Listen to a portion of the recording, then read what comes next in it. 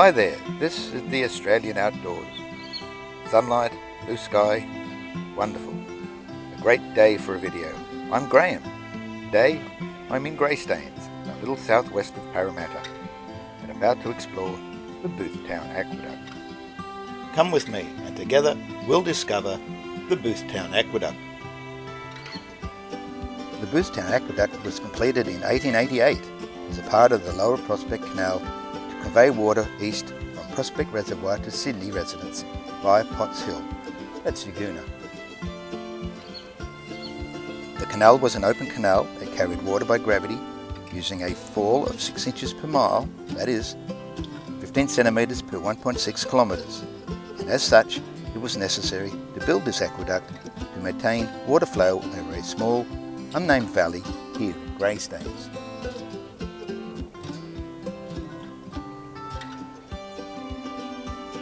The aqueduct was originally named the Boothtown Aqueduct after John Booth, but is now often called the Greystanes Aqueduct. Mr Booth was one of the best known men in the district and for some years was the mayor of the municipal district of Prospect and Sherwood. Mr Booth in the early days was also a prominent cricketer when the great rival teams were Parramatta, Sydney, Maitland and Windsor. He was also a keen judge of good cattle and was one of the most successful breeders in the district. He died on the 31st of July 1900 at the age of 66.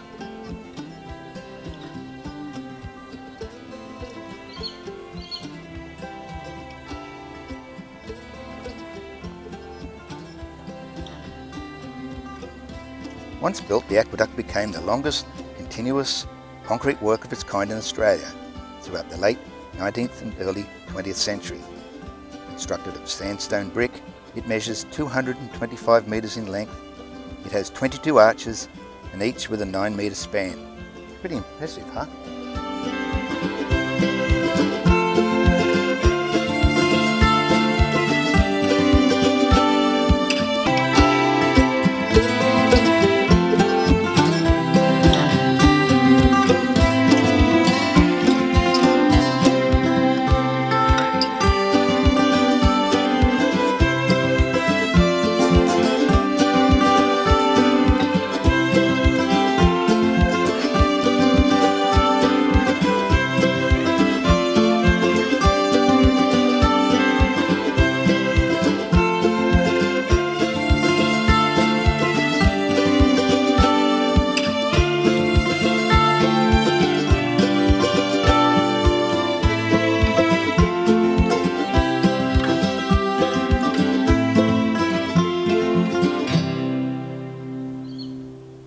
1900s, the aqueduct was threatened with demolition, but thanks to objections by the local community, the aqueduct and surrounding reserve area were saved and ultimately included as part of the Western Sydney Cycle Network.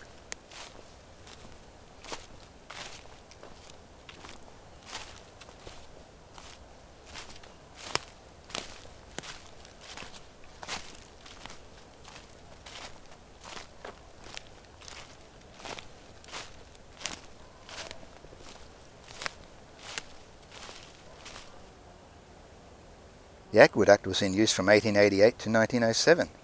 That's only 19 years. Why was that? Although not the primary cause, it was reported in the Sydney newspapers of 1892 that, early on the morning of Saturday, the 9th of January, sensational rumours were current to the effect that the Prospect Dam had given way. And although this statement was not generally accepted, it soon became evident that a serious mishap had occurred. It appears that during the previous night, it was thought that between 3 and 4 o'clock, some 60 metres of the aqueduct's northern wall, about 3 metres in height, collapsed and fell into the watercourse below. Experts stated that the cause of the break was too heavy pressure of water being sent through to fill Potts Hill Reservoir at the daily rate of 79.5 million litres a day.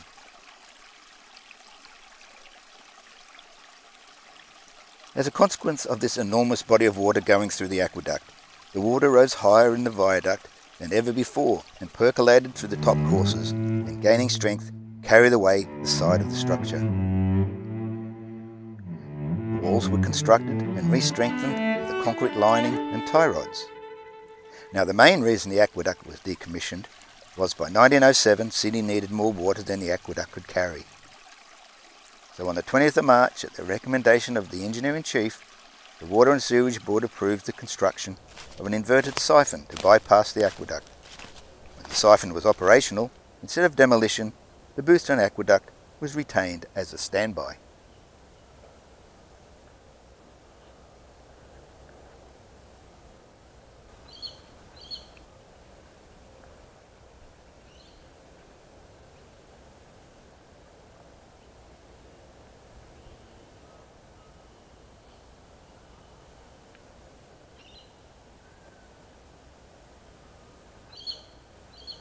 Once the siphon was operational, instead of demolition, the Boothtown Aqueduct was retained as a standby.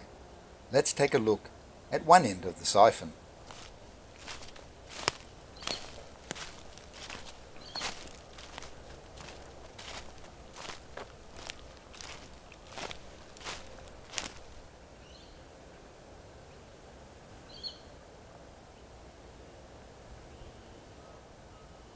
To complement the grandeur of the aqueduct, the 1907 inverted siphon, called fondly enough the Boothtown Siphon, was built with inlets resembling castle towers made of rendered brick and doorways that are lancet arched. Here is an illustration of how an inverted siphon works. Once the siphon was completed, the aqueduct was blocked with concrete plugs to divert water into the siphon and into a large concrete pipe 3 metres in diameter. The castle structure was equipped with steel trash racks and sluice gates to control the water flow. This then is the west tower inlet to the inverted siphon. The east tower is the outlet. The canal was filled in in the late 1900s and the concrete cycleway we see here today was placed on top. Behind us, we can see the cycleway across the aqueduct. But when it was first used, it carried water in its V-shaped canal to a depth of 1.7 metres. But it could rise to, two, to a maximum of 2 metres.